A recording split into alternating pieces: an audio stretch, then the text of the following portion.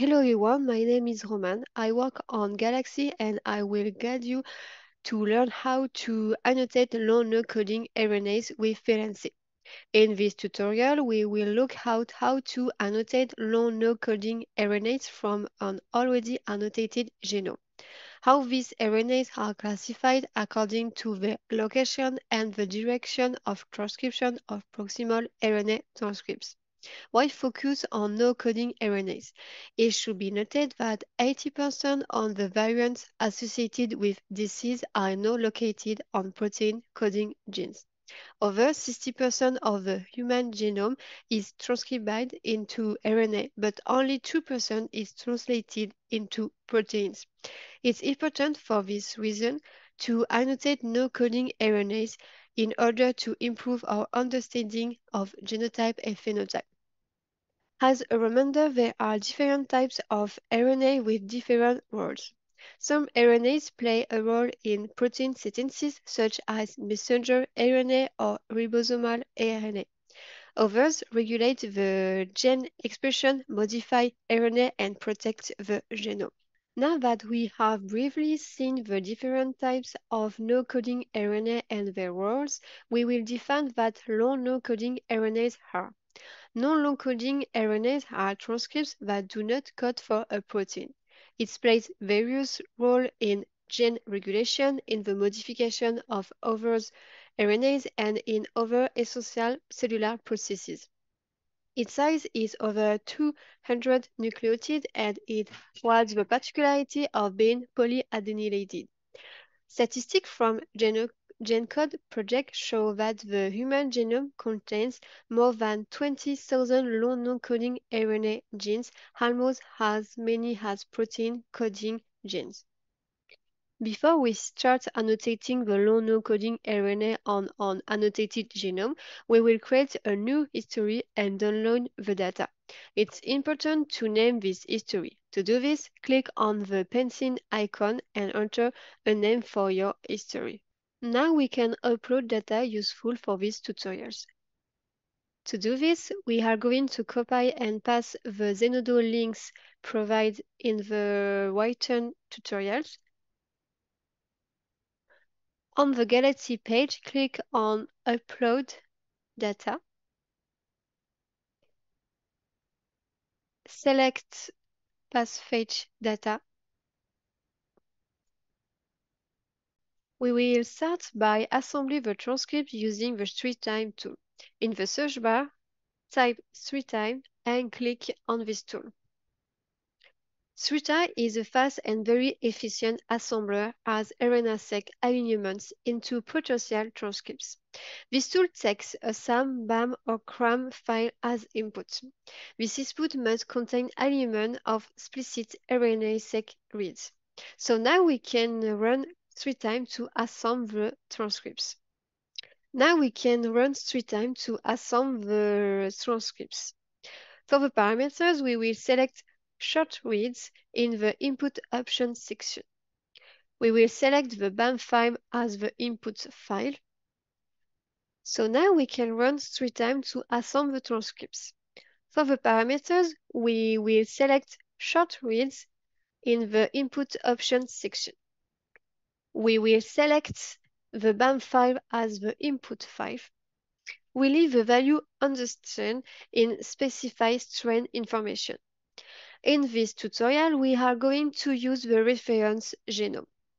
To do this, uh, select Use Reference GTF GFF3 and use a file from history. So StringTie is generating a GTF file. This file contains all the assembled transcripts present in the RNA-seq data. You are probably wondering how many transcripts are assembled.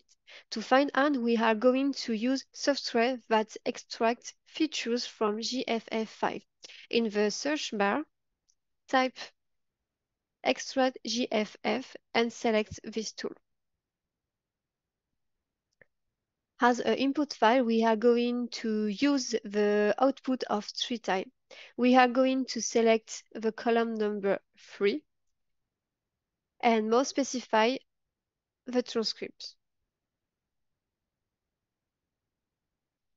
So this step will filter only the transcript in this assembly.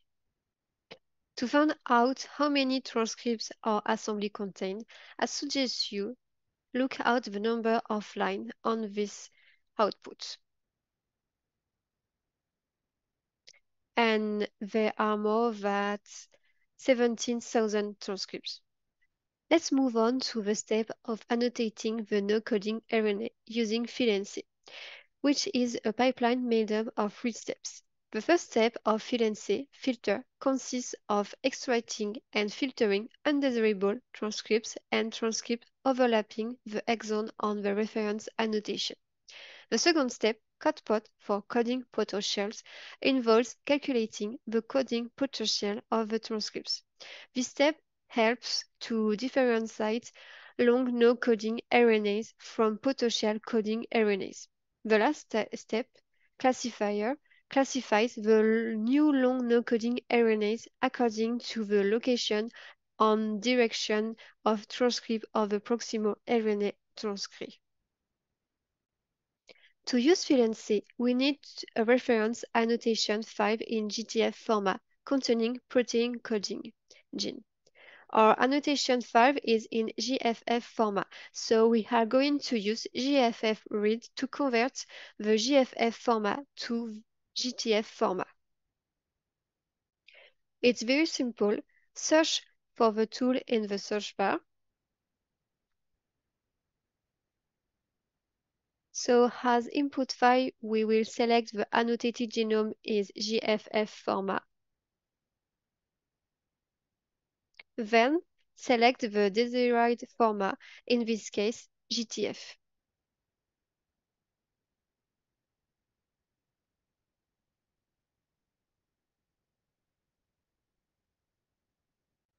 We have everything we need to launch FEELnc. Search for FEELnc in the search bar.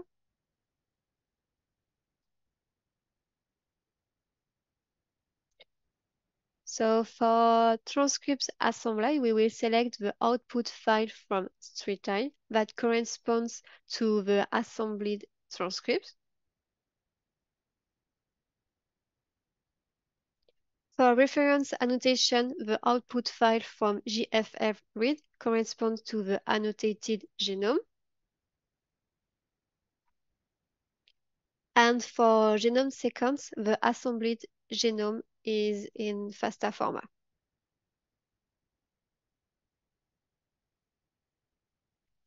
This step can take up to an hour, so I invite you to take a break or start another tutorial and come back when we it's finished.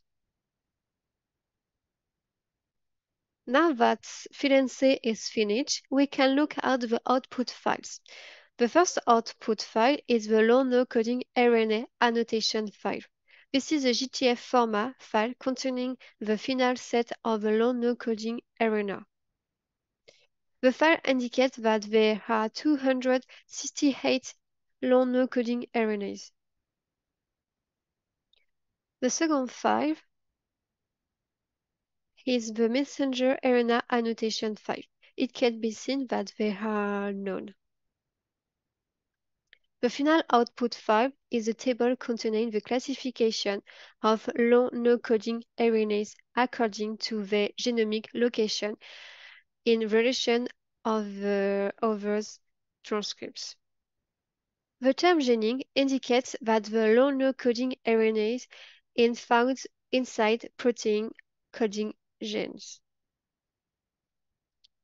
The term intergenic indicates that the long no-coding RNA is found between the coding genes. The summary file show 1772 interactions between long no-coding RNAs and messenger RNA. These interactions are described in the classifier output file. For the future analysis, it should be interesting to use uploaded annotation containing messenger RNA and long no-coding RNA. We will merge the reference annotation with the long no-coding RNA annotation obtained with FEELnc. To do this, we are going to look for the concatenate dataset tool. To concatenate a dataset, we will select the GFF read output. Then click on Insert Dataset to add the annotation of the long-no coding RNA obtained with FEELnc.